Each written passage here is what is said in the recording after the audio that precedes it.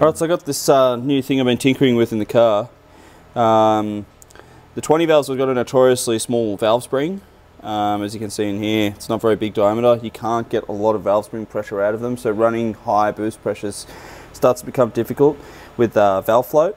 So I had a problem where we were anti-lagging the car or running it on uh, high RPM limiters, and it was actually jump the shim say if I had an ignition cut, fuel would go into the exhaust, it would explode in the exhaust, the valves would fall away because the pressure of the exhaust gas was higher than that of what the spring could keep shut.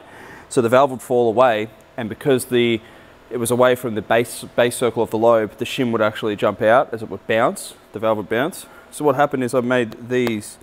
So I developed a little product, which is a Teflon spacer ring that don't weigh a hell of a lot and they are made of Teflon so they can withstand higher temperature and basically the shim, this is a factory shim but I have another version for aftermarket shims that you can buy.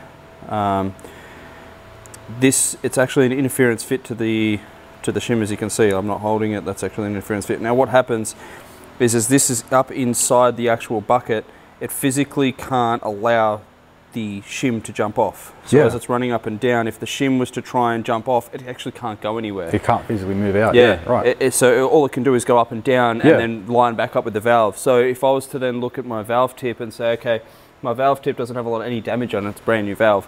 If I came back and I started seeing like a mushroom effect over the tip of the valve, I know I'm going to valve float, but at Yeah. least my shims aren't going to jump off and cause havoc. yeah. Because when shims jump off, it damages the tip of the valve as the shim bounces around. The, the edge, the tip of the valve gets all damage over it.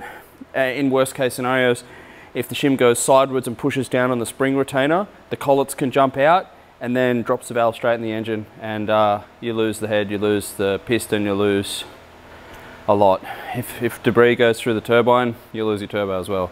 So this is just a little bit of insurance I've given I'm going to trial on my own engine first, and uh, if uh, I, it works, then I'm going to be releasing it to customers and people who are trying to do silly boost pressures on 20 valves, which is not a lot of people because it's probably the stupidest engine to do it on because of those valve springs. The valve springs are limited, yeah.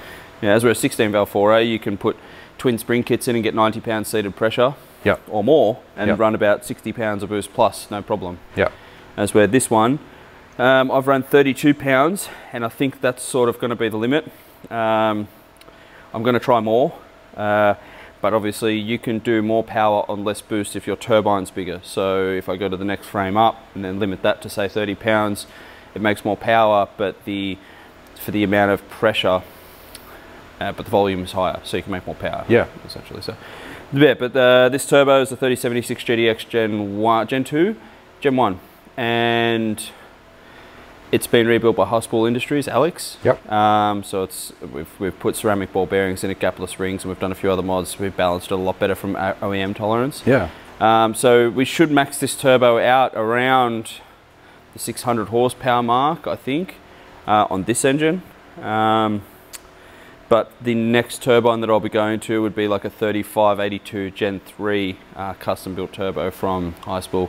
And we're going to remake the exhaust manifold to move the turbo up forward. Yep. So Pro Mod style. And then just have a short intake pipe with a pod filter, but move it right up forward so we can put a uh, like a four inch dump pipe off the back of it and stuff like that. Right. Well, that'll be it for this video, guys. I hope you enjoyed it. And if you have any engine-related questions that you'd like to ask Mat, leave them down in the comment section. And next time I'm in the workshop with Mat, I'll fire up the camera. And as long as your questions are relevant, I'll be sure to ask him, and we'll be making a video on it. So head on down to that comment section, leave us a question, and we might just answer it in the next video. And while you're there, don't forget to hit that thumbs up and subscribe. Thanks, guys.